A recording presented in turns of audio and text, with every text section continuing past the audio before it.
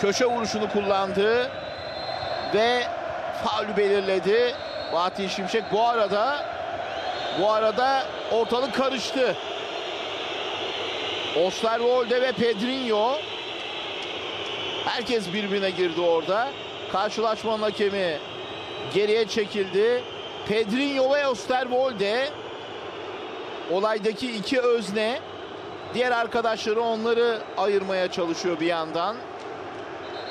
Şimdi ortalık biraz sakinledi. Osterwolde sarı kart. Pedrinho sarı kart. Bu kargaşada iki sarı kartla atlatılmış oldu.